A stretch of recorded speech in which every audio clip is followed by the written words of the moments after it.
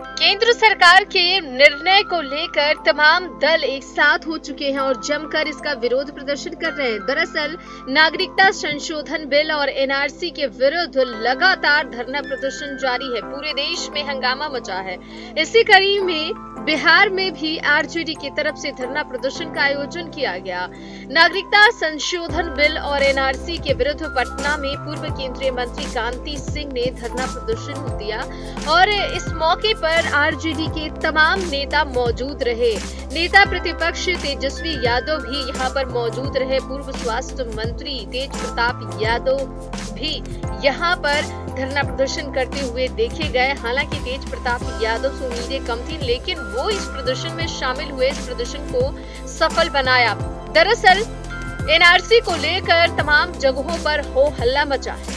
इस पर कांति सिंह ने अपने फेसबुक वॉल पर कुछ लिखा है, जो हम आपको बताते हैं। उन्होंने लिखा है कि वो चाहते हैं कि हिंदुस्तान छोड़ दे हम।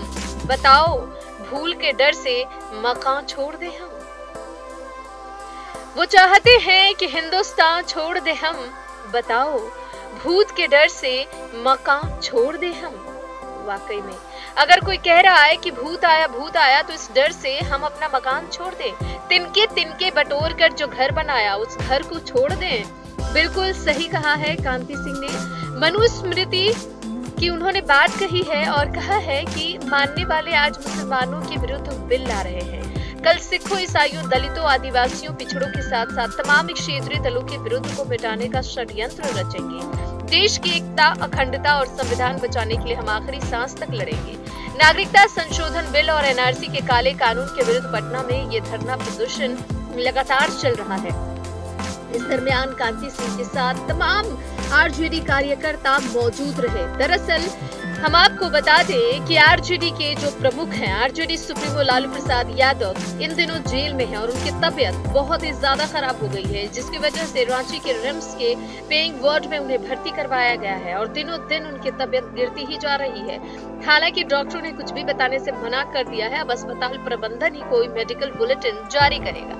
क्योंकि अभी लालू प्रसाद यादव की जो जेल की अवधि है, वो पूरी नहीं हो पाई है, आधी भी पूरी नहीं हो पाई है, ऐसा सीबीआई का कहना है, जिसकी वजह से अब वो जेल में है, लेकिन पार्टी की कमान उन्हीं के हाथों में है। और इस बीच पूर्व केंद्रीय मंत्री कांति सिंह कोई भी कसर नहीं छोड़ना चाहती। लालू प्रसाद यादव की कमी को पूरा करने में ये तमाम बड़े नेता जुटे हुए हैं, और इसी कड़ी में इन्होंने ये धरना प्रदर्शन किया, और इस दरमियान ये बड़ी बात कही। सचमुच में ये बड़ी बात है कि वो चाहते हैं कि हिंदुस्तान छोड़ दे हम।